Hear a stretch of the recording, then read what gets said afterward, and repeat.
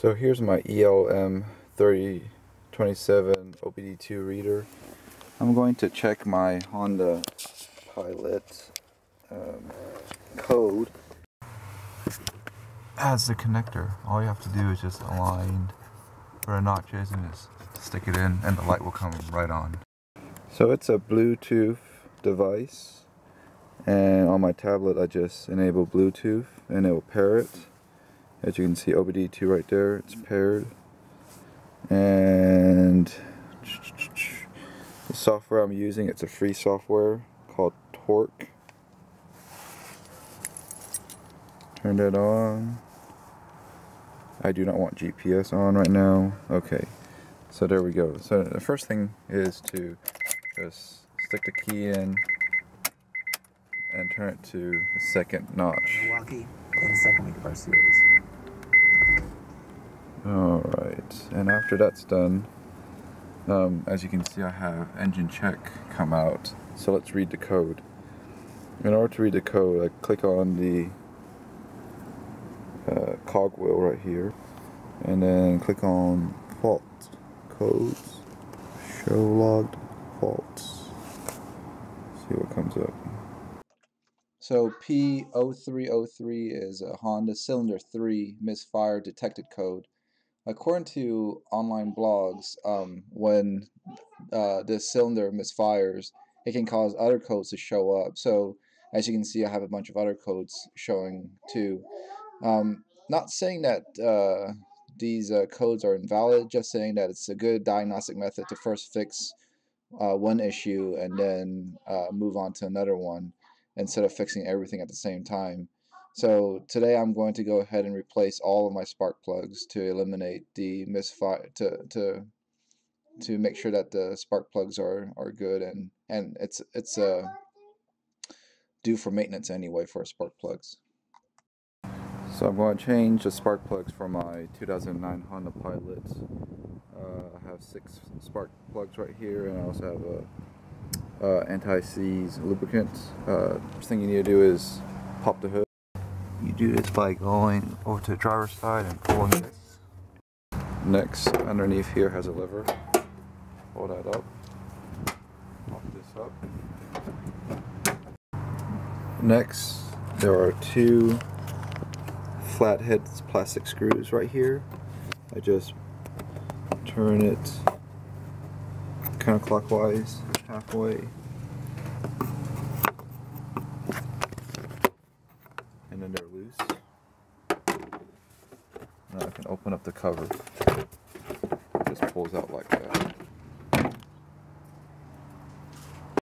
So our spark plugs are on this side. You can see one, two, and three. Those are the uh, coils and we need to remove that in order to get to the spark plugs. And on the other side of the engine, deep at the back, right here, as you can see, one, two, and three all the way down there. So here we go. Let's first remove the 10 millimeter bolt.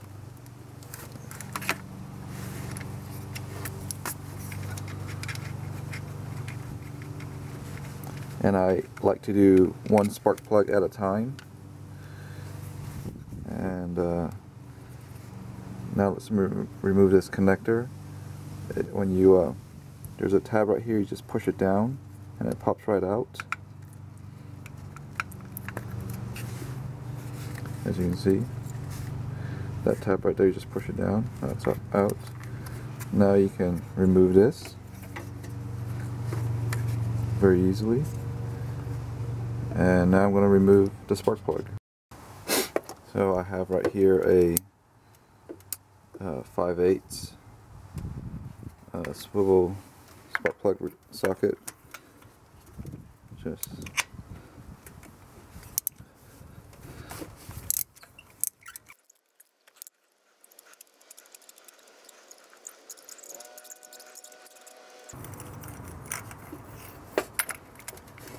Here we go.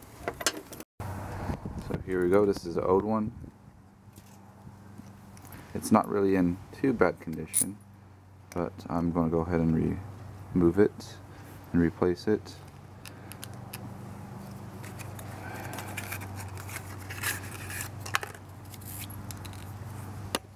And these are pre-capped, so you don't need to recap it. I'm going to use a little bit of anti-seize lubricant. Just put a little bit on, on here, like so. Put it back in the socket.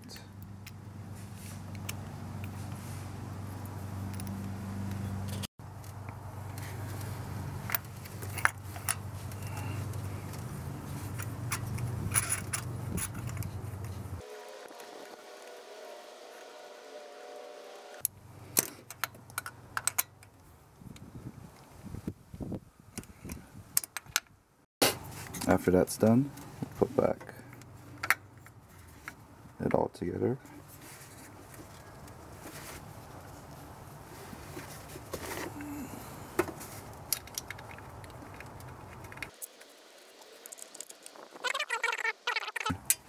That's good enough. And then you just plug it back in. That's it. Go through all six of them.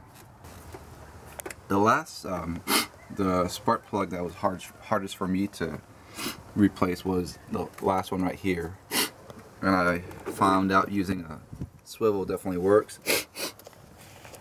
You'll want to go through uh, this uh, hose cavity right here uh, as you uh, put down the um, the uh, socket and you want your wrench to be facing this way right over here and that's all the tips I have for this so it's been uh, two months since I changed the spark plugs and I'm going to use a different device this time last time I used the uh, Bluetooth uh, OBD2 reader. This time I'm just going to use a handheld one um, just to demonstrate two different systems. And this one I just crank it to number two, number two position, just like before. Insert it. And after I insert it, this device should come on automatically and start scanning. So as you can see, no codes. It's been running fine. Changing the spark plug fixed the whole issue.